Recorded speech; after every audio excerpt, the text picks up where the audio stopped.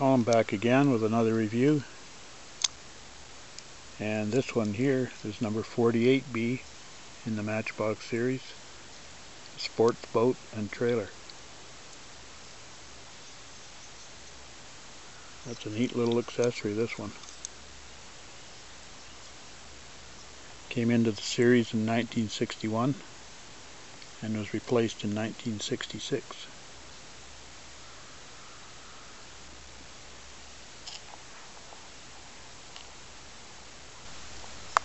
This one's an all plastic boat. Comes with a little die cast motor on a die cast trailer. And the trailer's uh, got black plastic wheels. It was always blue, different shades but always blue. The little motor goes up and down up for traveling,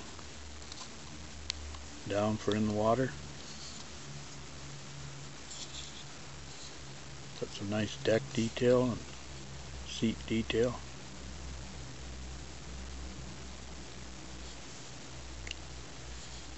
Now this boat uh, came in a different colors, red top, white bottom, white top, red bottom.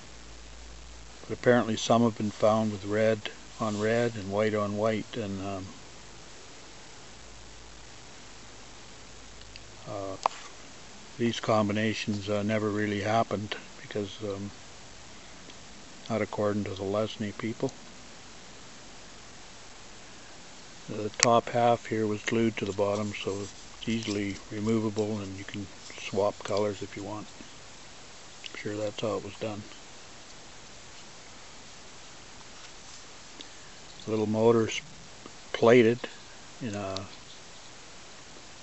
either a brass shade or a gold shade but um, this one's pretty worn off. That's typical with matchbox plating.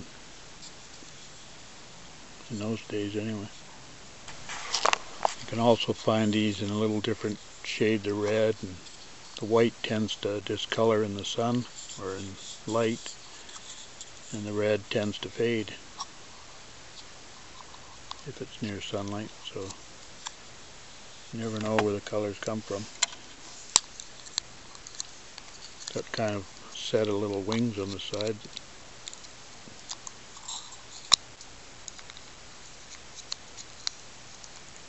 slip in here hold it. Find that center of gravity there we go. And I'll hook it up to the jag.